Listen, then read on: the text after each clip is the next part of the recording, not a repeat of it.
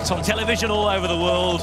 A modern peloton here, modern race tactics, and a Quick-Step team versus the world.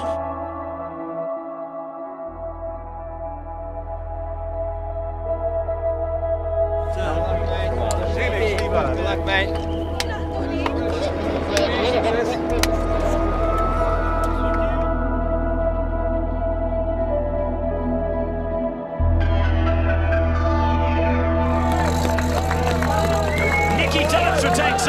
And this is a move to watch. How good is this? Man, Nikita 7 kilometer, man. Ronde van Vlaanderen is voor u, hè. Ongelooflijk, uh, zeer.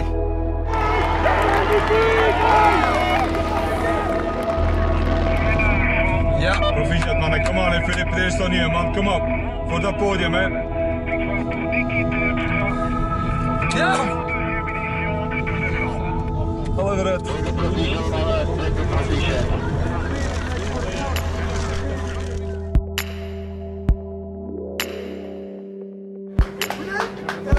Zegt hè.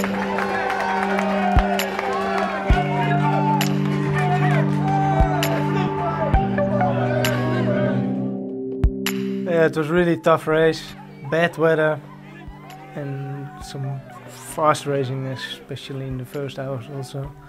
But uh, yeah, halfway the race, uh, I felt I had good legs, and uh, in yeah in the final, uh, in the end, it, went perfectly. Of course, it was a big motivation to hear the the other guys were uh, countering all the attacks.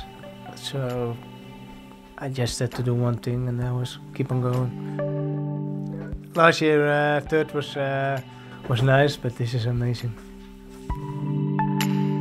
It's it's tough. It's really uh, I call it real racing. Uh, tough racing, uh, but also the the crowd is incredible. The Belgians are crazy about racing, and not only on the day of the race, but already the, the whole week. The atmosphere in Belgium is focused on on cycling, and that's what I love about it.